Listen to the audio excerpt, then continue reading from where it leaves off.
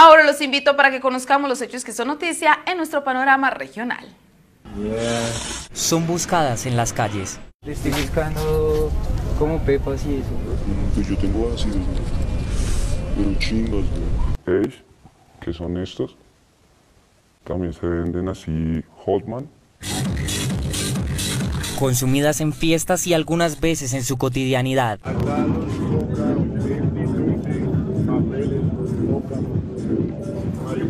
Se maneja alta gama, media gama y baja gama. Lo que ignoran muchos consumidores es que drogas como el LSD, el éxtasis y la cocaína de baja calidad. pueden estar adulteradas con sustancias químicas mucho más fuertes y perjudiciales para la salud.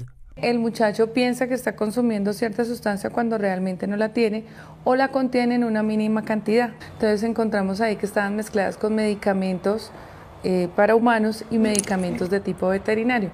Hace unos cuantos minutos acabamos de comprar esto, que venden como LSD, pero puede ser una sustancia mucho más fuerte y tóxica llamada EMPOM. Se vende pues en papel, se vende en gotas. Entonces depende pues eh, el consumidor, depende del consumidor.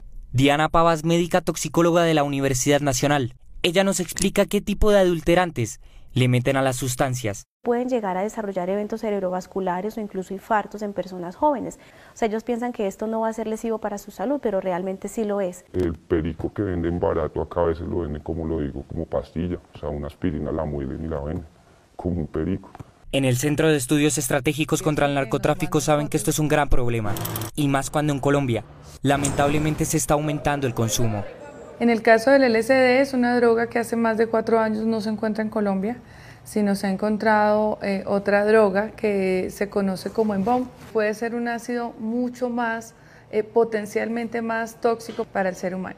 Otra de las grandes preocupaciones de las autoridades y los médicos es el policonsumo, que consiste en ingerir distintas sustancias en una noche y mezclarlas también con alcohol o alguna bebida energizante. Todas las drogas están hechas con compuestos que son nocivos para su salud, que su cuerpo no los necesita y que si usted toma la elección tenga en cuenta todas las cosas que vienen detrás de un consumo.